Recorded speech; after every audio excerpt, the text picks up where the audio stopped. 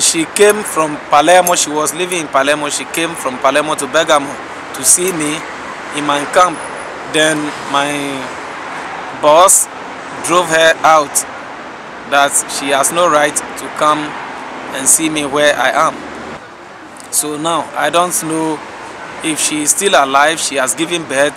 I don't know where she is. I don't know what is happening to her and my baby. I first of all have to look for my family because they are the most important thing in my life now. That is what I really need. I need to find them wherever they are. I need to see my family because they are so important to me. So to start life now is a very difficult something for me.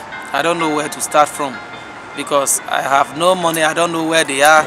I have to start searching for them from where she told me she was living before she came to me. And with that, I have to, it's all about money. I have to use money, transport, get to there, find somewhere, a hotel to lodge and start searching for her. But now I have no money with me. They're asking me to go out too.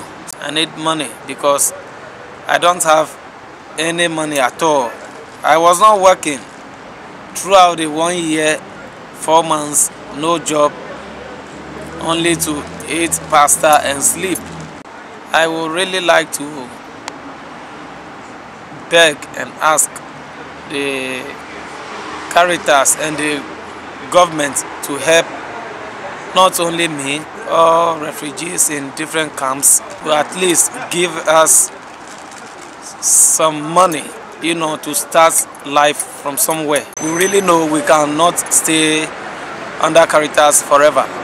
We have to, you know, start something. We know one day we are going to be on our own. We are going to live our independent life. So we ask the government to help us with some money so we can start our lives, we can recollect our families and live as normal human beings.